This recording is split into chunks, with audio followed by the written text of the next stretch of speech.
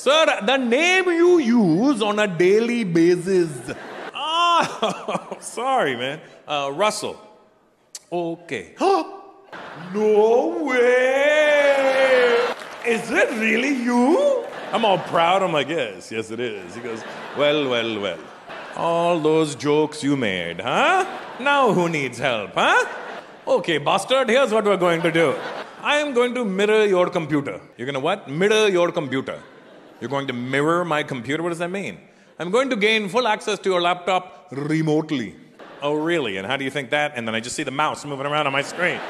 I'm like, what the hell happened? He goes, I have gained full access to your laptop. Let's quickly go through your history. You know what? Let's not go through my history. How about that? Let's, uh, well, well, well. Lusty grandmas. It was a pop up. I'm sure it popped up just fine, huh? Seems to pop up three, four times a day.